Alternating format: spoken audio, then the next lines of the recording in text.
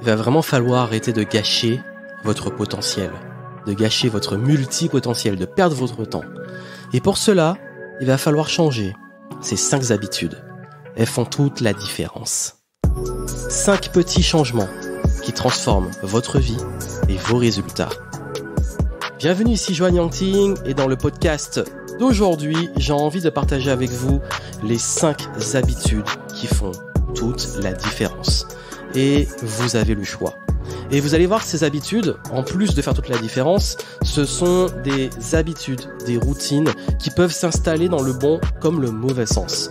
Ça veut dire que c'est pas une fois ou deux fois que ça va changer quelque chose, c'est quand ça s'installe, que ça devient justement cette habitude, cette chose que vous allez faire tous les jours, cet automatisme, cette réponse qui va changer votre destinée. Comment éviter ça?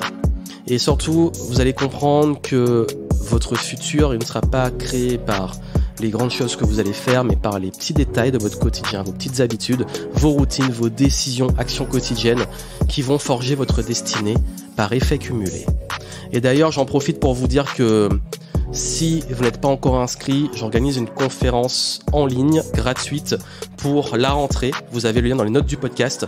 Ne manquez pas, inscrivez-vous avant la conférence pour la, pour la fin du mois d'août, durant laquelle je vais partager avec vous des conseils pour vraiment réussir à passer au niveau supérieur, au niveau de votre cerveau.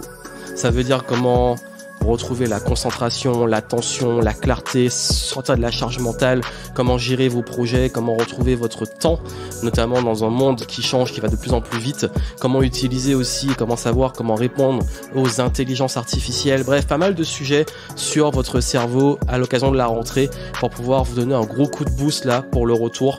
Donc prenez votre place si c'est pas encore fait. Et extrêmement important, n'oubliez pas, hein, Là, c'est la petite webinar de rentrée, webconférence, mais il faut que vous veniez à l'une de mes conférences de cette rentrée.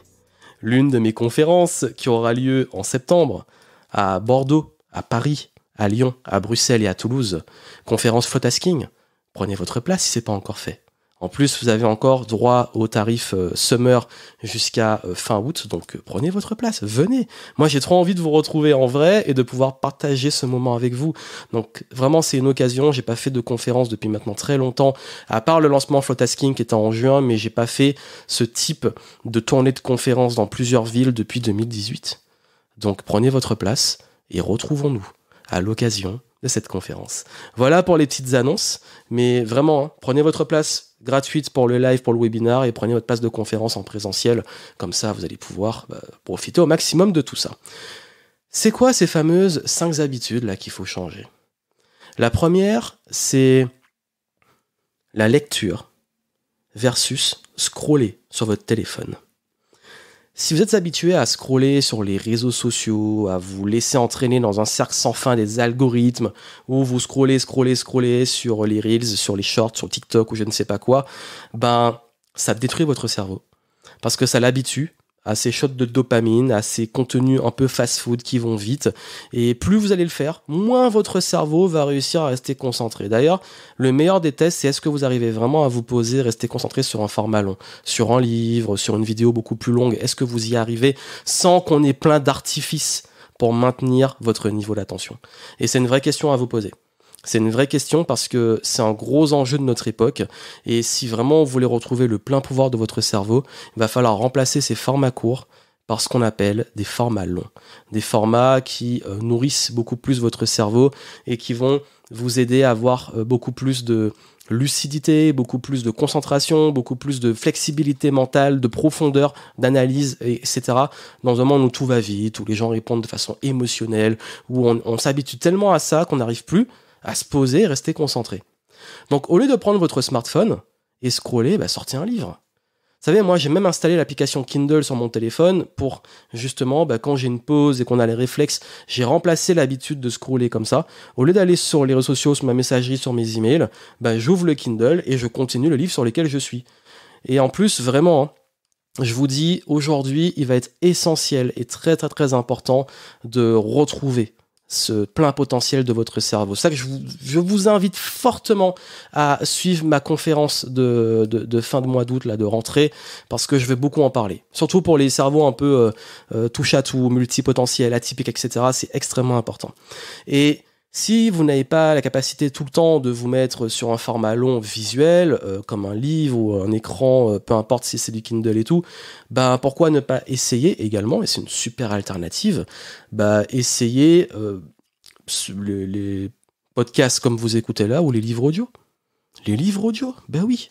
Moi, c'est ce que je fais, c'est quand je vais faire du sport ou quand, parfois quand je fais mon sport et tout, bah, je mets des livres audio plutôt que d'écouter des bêtises ou juste de, la musique. Parfois, j'en mets, ça fait du bien la musique aussi pour le sport, mais euh, quand je peux et quand j'alterne aussi, même dans les trajets en voiture et tout, juste réhabituer le cerveau sur des formats longs, à aller en profondeur, à pousser l'analyse, c'est extrêmement important. Et ça, ça va avoir un impact cumulé sur votre faculté de concentration, d'analyse, de prise de décision, de lucidité, qui va faire une grosse différence dans un monde où on a l'impression que les gens sont drivés que par des trucs où ça va toujours vite remettez-vous à la consommation de pharmalon. C'est vital. Et je vous dis, pour votre cerveau, c'est indispensable. Non seulement vous apprendrez plus, mais surtout votre cerveau va retrouver peu à peu la concentration nécessaire pour aller plus loin. Ensuite, c'est l'écriture versus les ruminations et la charge mentale. Si comme moi, vous avez tendance à partir très vite dans les pensées sans fin, hein, rumination, trop réfléchir, le cerveau qui se pose des mille questions existentielles, tous ces trucs-là, bah, écrivez. Posez vos pensées sur papier. Écrivez vos objectifs, vos tâches à faire, vos plans. Déchargez le cerveau. C'est ça. Comment sortir de la charge mentale? Ben, décharger le mental. Et surtout, vraiment, hein, prenez l'habitude de sortir de votre tête. Et l'écriture, c'est la bonne, la meilleure des premières étapes. Après, bien entendu, sport, respiration, ça c'est bien, mais vraiment, l'écriture, c'est la première étape la plus puissante. Vous pouvez utiliser par exemple le modèle de journal que, que j'ai créé, notamment Journal des succès, si vous voulez le lien, euh, je vous le mettrai en descriptif, mais vraiment, il y a vraiment quelque chose qui fait pour moi une différence. C'est soit je garde tout dans ma tête, ce à quoi faut penser, mes projets, mes to-do list, entre guillemets, j'aime pas les to-do list moi, mais c'est un autre sujet, euh, les tâches que j'aurai à faire, les décisions à prendre, etc. Ou alors je les sors et j'écris. La différence, elle se fait vraiment là. Donc, écrivez, écrivez, posez sur papier. Changez de posture. Ne soyez plus consommateur, soyez créateur. De façon honnête, quel est votre ratio entre consommation et création? Combien de temps, combien d'argent, combien d'énergie vous consacrez vraiment à la consommation et combien à la création? C'est extrêmement important. Moi, je dis qu'il faut avoir un ratio le plus équilibré possible. Et même de préférence plus créer. Mais il faut consommer pour être inspiré pour créer. Mais 50-50, c'est déjà important. Ça veut dire que chaque heure, chaque euro, chaque degré d'énergie que vous allez utiliser, dans la consommation, vous devez l'utiliser dans la création.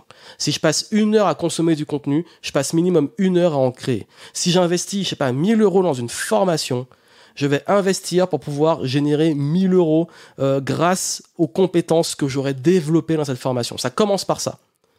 Si je bénéficie de valeur, je reçois de la valeur, je consacre du temps, de l'énergie, de l'argent à en créer. Je consomme, je crée. 50% consommation, 50% création. Que fait la majorité des gens? 90% voire plus de consommation. L'objectif n'est pas d'être toujours dans le calcul, mais juste en avoir conscience. Conscience de la valeur que vous créez, des opportunités que vous créez. Euh, juste quand vous créez tous les jours, vous plantez des graines pour l'avenir. Et c'est vraiment la nuance. Plantez des graines autant que vous consommez les fruits. Parce que sinon, un jour, bah, vous n'aurez plus de fruits. Donc, faut aussi planter des graines, il faut entretenir l'arbre, faut l'arroser, faut en prendre soin, si vous voulez régulièrement les fruits. Curiosité versus anxiété. Êtes-vous anxieux concernant l'avenir? Vous savez, quand c'est l'incertitude, qu'on ne sait pas, quelle énergie ça crée chez vous? Parce que il y a deux façons de voir l'incertitude. On peut la voir comme du stress, de la peur, de l'anxiété, ou comme de la curiosité. Plutôt que d'être anxieux concernant un avenir incertain, j'ai décidé, moi, d'être curieux. Je ne peux pas prédire l'avenir, encore moins tout contrôler. Et si je me mets à vouloir tout contrôler, ça augmente mon anxiété. Mais je peux être beaucoup plus observateur. Je peux être plus curieux. Je peux voir dans tout ce qui peut se passer, arriver, et même ce qui est incertain, une occasion d'apprendre, de m'élever, de me réinventer, de rester agile. C'est d'ailleurs la philosophie du flow tasking, c'est surfer les changements. Donc, j'adopte une posture d'ouverture et de curiosité plutôt que de fermeture et de peur. Je suis dans l'expansion, pas la contraction. Il y a deux choses à vous demander. Vraiment, il y a, il y a deux choses à vous demander. La première, c'est est-ce que quand vous voyez l'avenir, vous créez une énergie de peur, de manque ou une énergie de fuite? Ou alors est-ce que vous créez une énergie de curiosité, d'anticipation, d'élévation? Et la deuxième, c'est quand vous vous demandez, OK, qu'est-ce que l'avenir me réserve? Êtes-vous plutôt optimiste ou pessimiste? Je vais vous dire une chose, dans les deux cas, vous aurez raison. Si vous êtes pessimiste concernant l'avenir, vous aurez raison. Vous êtes optimiste, vous aurez raison. C'est une question de perception. Et il s'agit là d'une habitude de réponse et d'attitude, plus que d'action pure. Hein. C'est vraiment devenir proactif. C'est agir de façon agile en focalisant sur ce que vous contrôlez. C'est être curieux, c'est être ouvert, c'est accueillir. Pas vouloir tout contrôler, pas être anxieux, pas subir. Ça, c'est vraiment une question d'attitude. Et enfin, rythme versus extrême. Celui-là est important. On a l'impression qu'il faut soit frôler le burn-out en en faisant trop, soit être en état de léthargie. euh, on fait pas trop, on fait rien, voilà, on, est apathique. Aucun extrême n'est bon. Vous savez, le game se joue sur le long terme, hein, et la seule façon de durer, c'est de mettre du rythme entre l'observation, la planification, l'action, la réaction, la récupération. C'est pas que l'action, c'est pas que la réaction, c'est pas que l'observation, c'est pas que la planification, c'est pas que la récupération, c'est l'ensemble de tout ça. Observation, planification, action, réaction, récupération. J'aime beaucoup l'expression qui dit c'est bien doser, mais il faut doser. Mettre du rythme en respectant ces cycles. Vous savez, vous avez deux voies possibles maintenant. La première, c'est OK, choisis de consommer de l'information sans intérêt, de continuer à scroller et de perdre peu à peu mes capacités cérébrales. De rester dans la tête, de ruminer, euh, d'avoir toujours ok euh, plein d'idées sans jamais rien actionner. De pas ou peu créer, peu investir, plutôt consommer, toujours acheter, mais jamais vraiment créer quelque chose.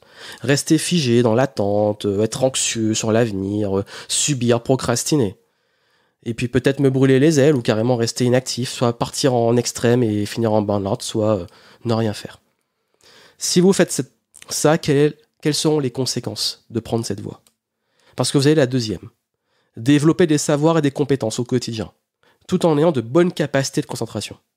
Gagner en clarté mentale, maintenir une bonne santé mentale, donc un bon niveau de vitalité d'énergie Créer des opportunités, planter des graines pour l'avenir, explorer, apprendre, vous réinventer, expérimenter, être curieux, être régulier en bonne énergie.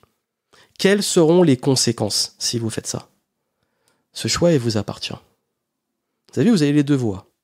Et ça paraît anodin, mais ça fait toute la différence. Souvent, on cherche compliqué. Mais c'est simple. C'est extrêmement simple. Forcément, plus vous allez créer, plus vous créez des opportunités plus vous allez pouvoir euh, justement bah, avoir cette clarté mentale, cette bonne vitalité, cette bonne énergie, plus vous allez être en capacité d'avancer, d'être créatif, de vous réinventer. Plus vous allez dans une posture de curiosité, plus vous allez apprendre et plus vous allez gagner en expérience. Plus vous allez être régulier, plus vous allez pouvoir semer des graines pour l'avenir. Et ce choix, il vous appartient. Les formats longs ou scroller sans intérêt. Écrire ou continuer à tout laisser dans votre tête. Consommer ou créer. Être curieux ou être anxieux. Mettre du rythme ou partir dans les extrêmes. Vous avez le choix. Et si vous voulez aller plus loin sur ça, prenez votre place gratuitement pour ma conférence en ligne pour la rentrée. Vous avez le lien en descriptif et vous allez voir qu'on va aller beaucoup plus loin sur tout ça. Vous allez voir comment réussir à installer ces routines. Comment réussir à justement retrouver votre concentration, réussir à réduire la charge mentale, réussir à vous organiser pour créer, réussir à apprendre de façon beaucoup plus structurée, réussir également à bien gérer l'environnement, trouver votre rythme, bref, tous ces éléments si important dont j'ai parlé. Je vais le développer durant la conférence. Ça va durer à peu près, je pense, une bonne heure et demie, voire deux heures. Vous aurez du bon contenu. Donc prenez votre place. Et puis bien entendu, euh, vraiment, parce que j'en profite sur la foulée, parce qu'on approche vraiment des dates ben, les conférences. Les conférences en septembre, euh, là aussi, là c'est une place présentielle. Bah, pour le coup, là c'est payant forcément. Hein. On a des salles et du staff à payer. Donc euh, prenez votre place euh, pour la conférence. C'est en septembre. Vous avez toutes les villes disponibles, les places qui restent. Donc ce sera l'occasion de nous retrouver. Il y a des sujets parmi ceux que j'ai abordés ici qui seront abordés et d'autres. Donc venez, venez vivre cette expérience.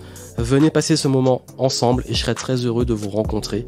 Enfin, en vrai, en présentiel après toutes ces années, savoir plus sereinement vraiment comment on veut faire des événements. Je vous souhaite plein de succès. Retrouvez ce pouvoir que vous avez déjà sur tout votre cerveau et je vous souhaite beaucoup, beaucoup de bonheur. À très vite.